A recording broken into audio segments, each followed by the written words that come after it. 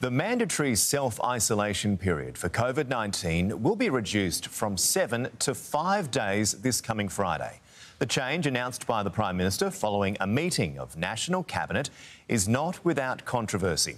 The decision is being slammed by the Australian Medical Association and challenged by a number of health experts, including epidemiologist Professor Nancy Baxter, head of the Melbourne School of Population and Global Health at the University of Melbourne. And Professor Baxter joins us from North Melbourne this morning.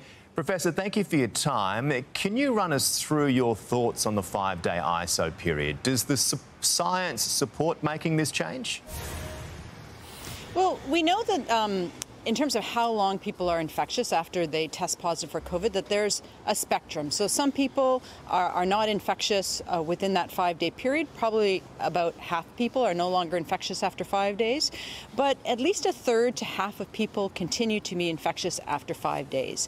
Uh, and so where we set the bar in terms of how long people are in isolation kind of um, uh, determines whether people are going to be infectious back at the workplace. Seven days was set because that's when you know the really the majority and and only a small number of people are infectious after that time period.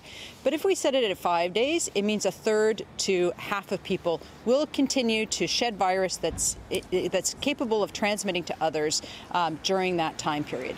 There's going to be more transmission if this happens at the workplace and at school. So that's what I wanted to clarify. You can be infectious without having symptoms, can't you? Because, I mean, that's a lot of what this is saying, is saying if you don't have symptoms on day five, return to work. That doesn't necessarily mean you're not going to be infectious for your family and your work colleagues, does it?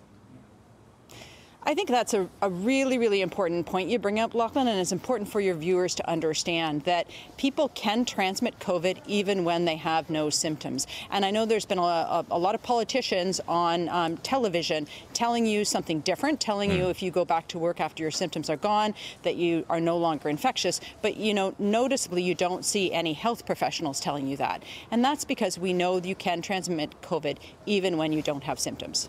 That's a great point about we're not hearing health professionals say that. We also haven't seen the health advice that underpinned National Cabinet making this decision. Do we need to see that advice? Uh, I, I, think that uh, uh, transparency is good. I think it would be good to understand what the basis for these decisions are. Um, but hey, you know, I, I, think that reducing from seven days to five days isn't going to result in a spike of cases right now. It'll result in some people being infected that didn't have to be at the workplace and at school. Mm. But there's not going to be a huge spike in cases. We've just come off of the worst COVID wave that uh, Australia has experienced, and a lot of people have been infected with COVID. So right now, the cases are in decline decline, and they're going to be in decline even if you reduce the period of isolation. But what happens here is that it sets us up for the next wave, which I'm sorry to tell your viewers is going to come. Like we're going to have another wave of COVID, mm. probably before the end of the year.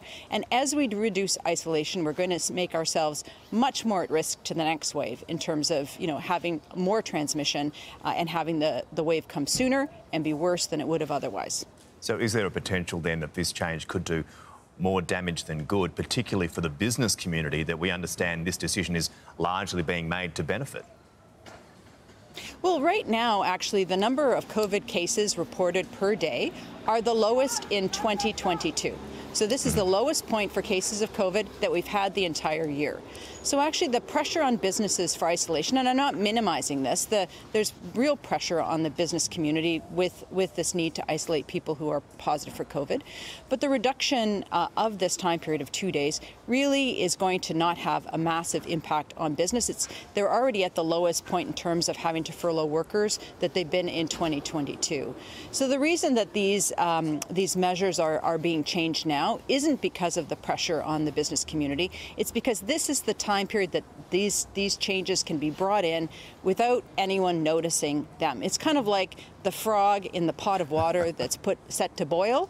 Um, that you know the frog doesn't notice until the mm. water's boiling, and then it's too late for the frog. So that's kind of the same thing. They're going to get rid of every protection we have against COVID transmitting until they're all gone at a time period where we don't really notice it, and then they're going to be gone, and uh, you know we're going to have widespread transmission of COVID with the next wave.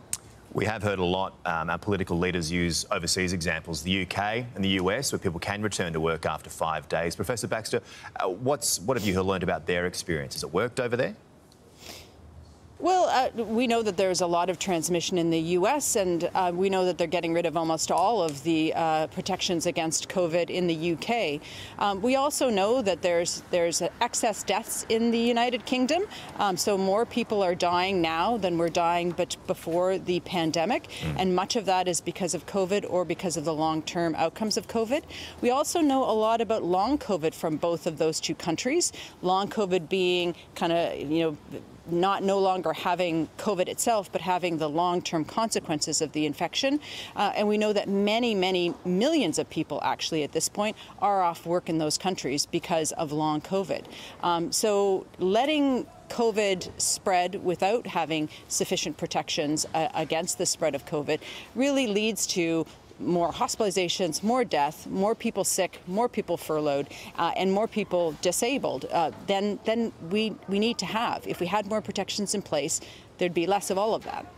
Professor Nancy Baxter from the Melbourne School of Population and Global Health. I really do appreciate the conversation this morning. Thanks for your time. Thank you, Lachlan.